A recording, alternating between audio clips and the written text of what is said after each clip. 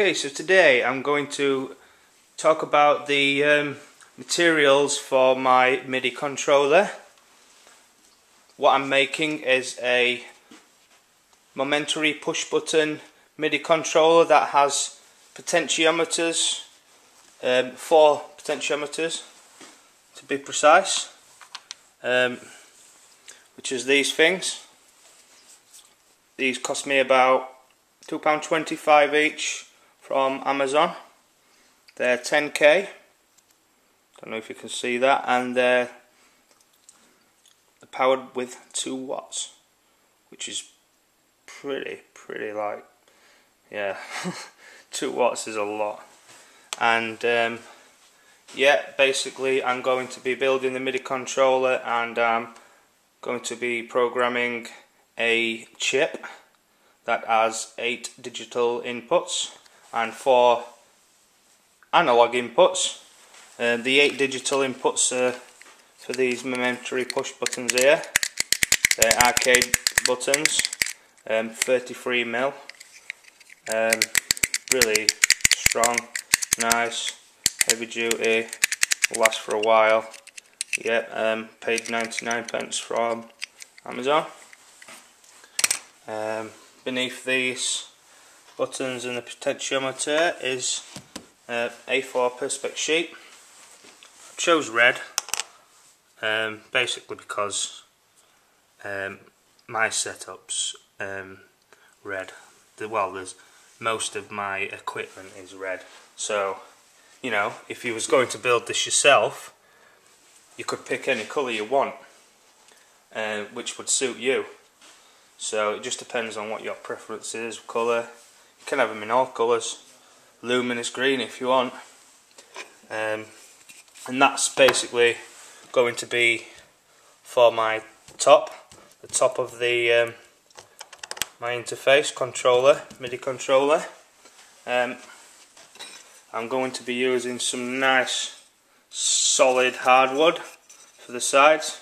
It's really thick it's really nice stuff solid. It's going to be amazing.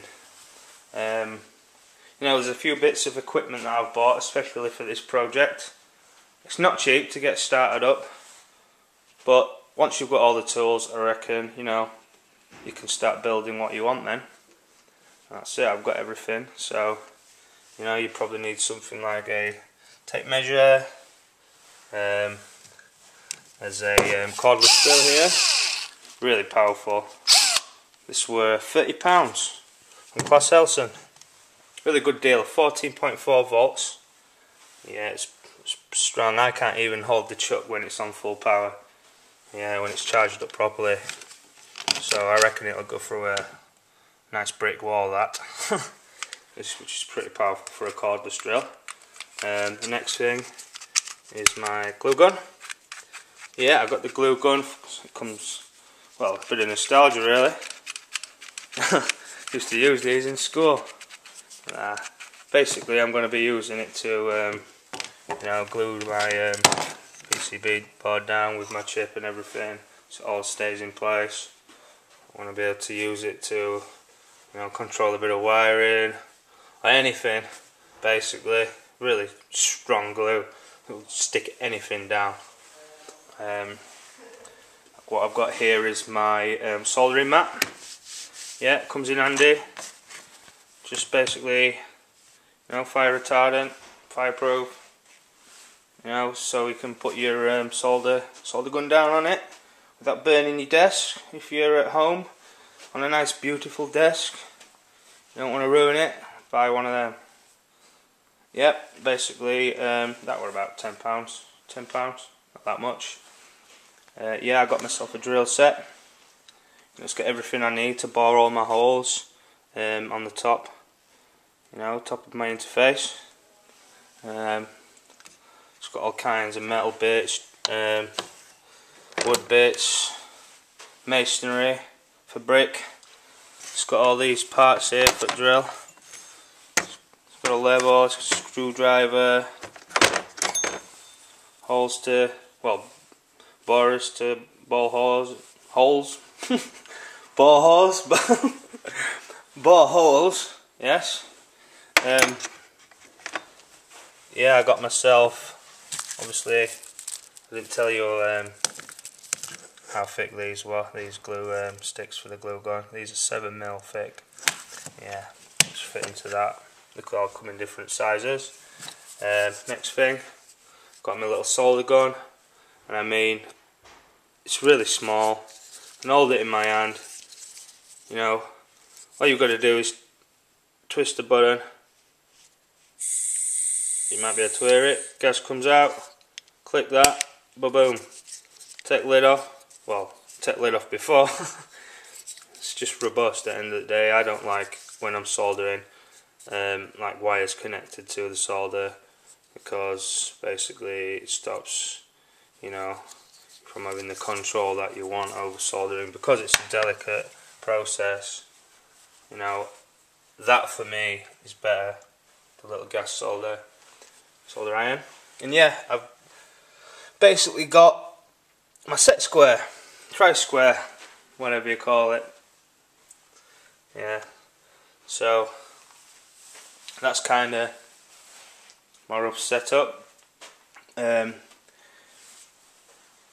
I can talk about you know all the electronics and how the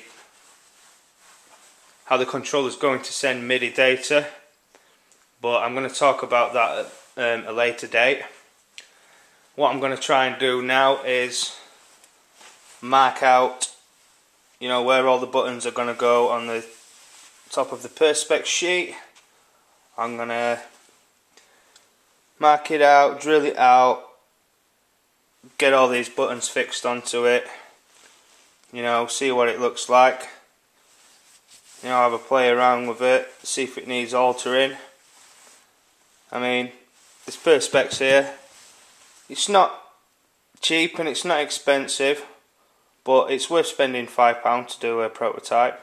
I could do it on paper and stuff like that and I could build diagrams but I reckon the best way is going to be you know getting the buttons placing them on marking them out you know having a feel for the material seeing what it's like to drill and um, you know see if I need to get perspex that's thicker so it's stronger you know stuff like that I mean, that's part of the process and the development, and you know, if you're going to make a better product, you're going to have to test everything first.